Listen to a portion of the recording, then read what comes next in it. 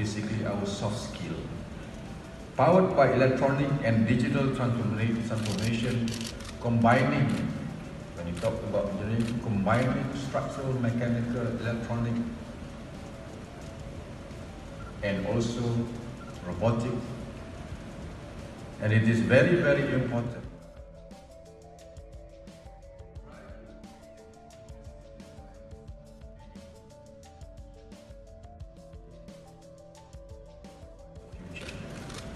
Today we talk about artificial intelligence, today we talk about big data, today we talk about robotics.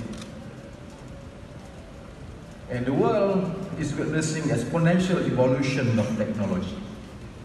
Rapid development in machine, in machine, in machine learning, artificial intelligence, 3D printing, blockchain technology, robotics, and many more which are driven by the mega trends and are changing the way we live and do our business.